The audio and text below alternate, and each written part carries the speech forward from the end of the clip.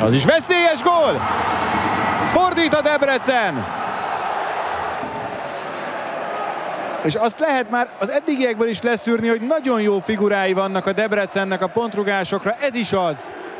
És Eppel mögül kibújva Bárány beveszi a hazai csapat kapuját, és azok után, hogy a múlt héten a Róma ellen is betalált,